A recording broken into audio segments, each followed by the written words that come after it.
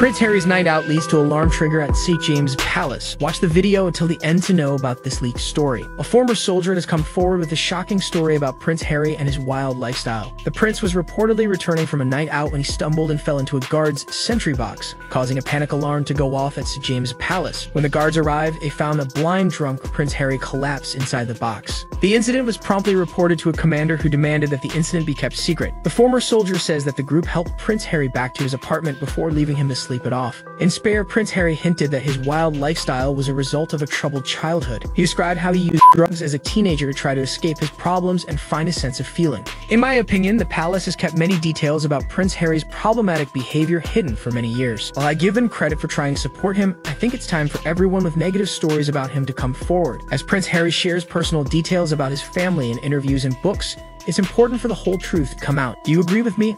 Like the video and subscribe to the channel.